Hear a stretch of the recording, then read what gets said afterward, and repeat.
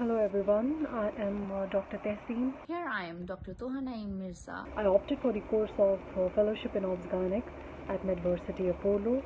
I realized that I've learned a lot uh, due to the help of that course in my subject and the course includes uh, the PDFs, the small small videos about the chapters from which we can easily gain knowledge and at the end of that we have the test so that we can recall what we have learned with the help of that videos and PDFs. Yes, overall the course is very helpful to the practicing obstetricians and gynecologists and as well as uh, to the doctors who would like to carry out their practice as a general practitioners post MBBS.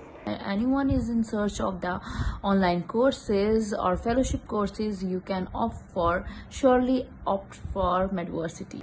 And I would like to thank the Medvarsity Apollo and uh, the supporting staff and especially to the Mr. Rajkumar who is always available to solve our uh, problems to and our queries and yes thank you so much